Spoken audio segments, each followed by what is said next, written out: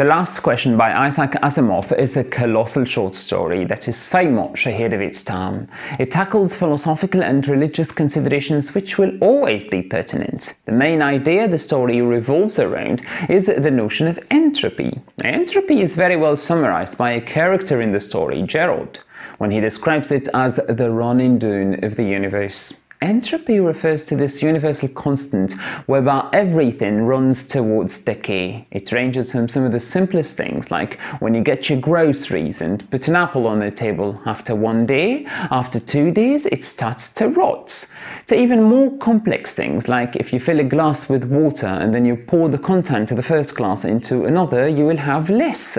Pour it into a third glass and you'll have even less. Based on the same law of entropy, humans weaken and die, empires crumble, excitement turns into boredom, and everything runs down. Just the idea that this is a constant in the universe and that nothing escapes it is order, and whoever says order says an orderer. Probably. The short story follows the development of computers and artificial intelligence throughout billions of years, during which this artificial intelligence would create extraordinary things, but would always fail, except at the very end, to answer this one question of how we could reverse the law of entropy. At the end of the story, there is an unexpected, magnificent twist. By 2061, a powerful AI computer called Multivac is responsible for scientific research, for manufacturing, for transportation, and for regulating all aspects of life. The computer does everything perfectly and more efficiently than any human can aspire to. Humanity has reached staggering levels of development, but there's one hurdle that still halts progress, and it's energy. There is only so much petrol under the ground. And then on May the 14th, 2061, the artificial intelligence Multivac succeeds in finding an alternative to petrol. It successfully applies the concept of the Dyson sphere. It's a very interesting concept first imagined by English author and philosopher Olaf Stapledon.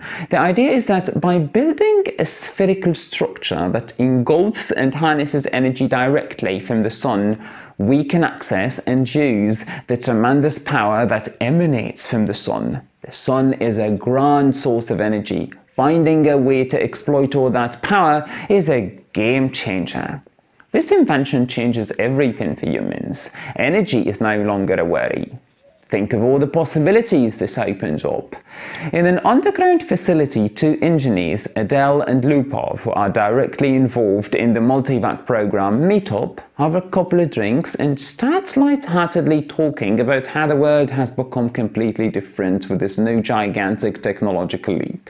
Adell tells Lupov that never will energy be an issue for humans. Lupov disagrees. He says that Yes, it is impressive. Yes, energy will no longer be a problem for humans for a long time, but to assume that energy will never be an issue, no. The sun, as imposing as it is, has a lifespan. It's the law of entropy. Will come a time when the sun will die. We'll use the same mechanism and harness energy from another star? Yes, sure, but that star too will die. What we can do is prolong the availability of a steady source of energy, but there is always going to come a time when we will run out of stars. Entropy is inescapable. Adell and Lupov debates the issue casually, as casually as two inebriated friends can. Then they decide to settle their agreement by betting $5 and asking Multivac for an answer. That's what they do, and when asked, how can the net amount of entropy in the universe be massively decreased? Multivac says insufficient data for meaningful answer. The story jumps hundreds of years forward. A family is traveling on its own spaceship heading towards planet X-23. The husband is called Gerard, the wife Geraldine, the daughters Geraldette 1 and Geraldette 2. Quick kudos to the world building here. It looks like hundreds of years from now, this is how naming people will look like, names with digits. This small family owns a more advanced, more portable version of Multivac. It's called Microvac. The computer is obviously powerful enough to control everything in the ship. The goal of the family's trip is already connected to entropy. People from Earth are getting away because of overpopulation and the scarcity of resources. The family has an interesting chat. Geraldine tells Gerard that despite overpopulation and the scarcity of resources, humans are okay. They'll continuously keep flocking to new planets whenever their numbers get too big and resources get too scarce. Gerard doesn't agree. He tells her that while there are lots and lots of planets and galaxies, the numbers are finite. Will come a time when the human race will have used all of them due to entropy. All planets will end up dying because of entropy. Gerard one asks about what this entropy is, and here Gerard tells her it is the running down of the universe. Gerard's answer disturbs Gerard. He turns to the computer Microvac and asks it, how can entropy be reversed and stars be created again? The computer responds, insufficient data for meaningful answer time jump, fast forward to 20 millennia ahead. The new version of the computer is called Galactic AC. It has achieved immortality for humans. They no longer die from disease or old age. This means that population growth is even faster. Two analysts with two interesting names, VJ23X and MQ17J, are discussing how the entire galaxy has only five years before it'll be completely packed with humans. VJ23X says that there are hundreds of billions of galaxies and that there's nothing to worry about. MQ17J disagrees and tells them that while hundreds of billions is a big number, it's not infinite, and that at some point humans will have used up all the galaxies due to entropy. They again wonder how entropy could be reversed. They ask the galactic AC, and the answer is once again there is insufficient data for meaningful answer. Another time jump takes us way ahead in the future. Humans cannot detach their minds from their physical bodies. Two minds from two different galaxies meet in space while exploring a new galaxy. They're called Z Prime and D sub 1. They start to talk about how galaxies are all similar. But then D sub 1 tells Z Prime that the original galaxy where humanity has started must be different. They don't know what it is. They resort to asking the computer, which is now called Universal AC. It tells them about a galaxy, the Milky Way, but the computer doesn't use its name. D sub 1 further inquires about which specific star life originated in. The computer tells them that the star has gone supernova, died, it has become a white dwarf.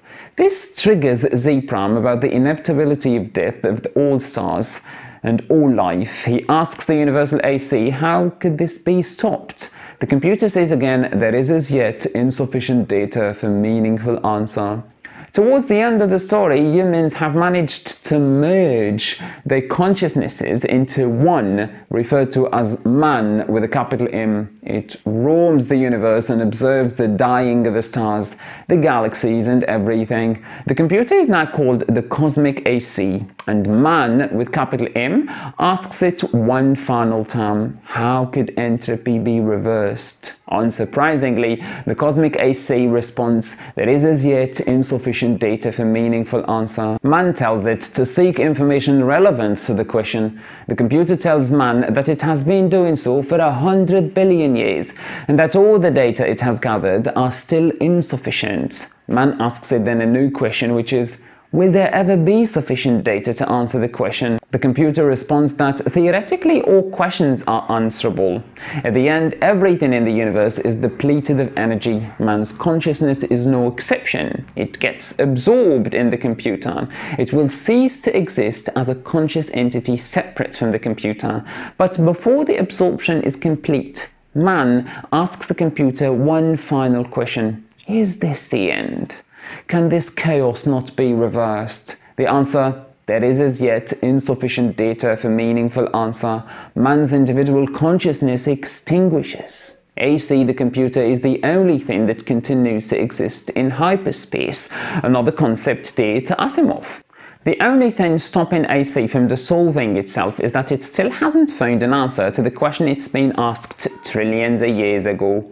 It keeps collecting data until it finally finds the answer, but there is nobody and nothing around to be told the answer. AC has the answer to how entropy could be reversed, but there's nobody to listen to the answer. However, reversing entropy amounts to generating creation, and this is what AC does. The artificial intelligence pronounces the words, let there be light, and there was light, a statement attributed to God in Genesis.